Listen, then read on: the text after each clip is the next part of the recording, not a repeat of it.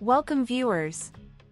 In this short video, let us visit the world-famous Glenfinnan Viaduct, popularly known as Harry Potter Bridge. Enjoy the moment.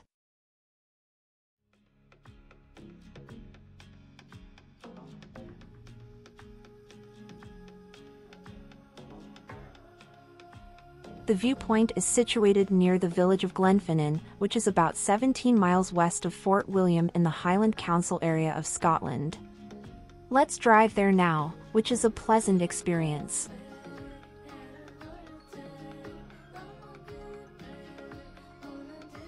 We are on the banks of the beautiful River Finnan which makes this viewpoint a spectacular location. This river joins the Lake Shiel which stretches to 17 miles width, if you happen to visit this part, it is recommended to pay a visit to Lake Shiel as well. The viaduct is built from mass concrete and has 21 semicircular spans of 15 meters. It is the longest concrete railway bridge in Scotland at 380 meter and crosses the River Finnan at a height of 30 meters. It was completed in 1901 and is a key feature of the West Highland Line.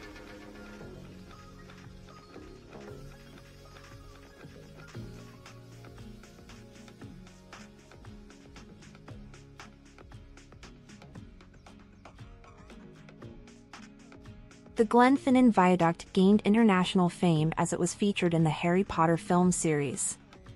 The Hogwarts Express, the magical train that takes students to Hogwarts School of Witchcraft and Wizardry, is seen crossing the viaduct in several scenes. There are designated viewing areas and hiking trails that lead to elevated spots, providing visitors with breathtaking views of the viaduct and the surrounding landscape, including Loch Shiel.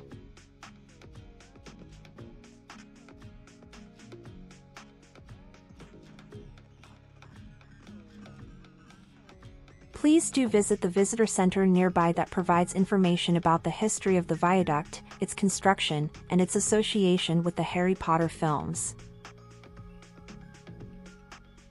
The Jacobite Steam Train, a popular tourist attraction, operates on this railway line during the summer months. It offers a scenic journey for visitors, including a crossing of the Glenfinnan Viaduct.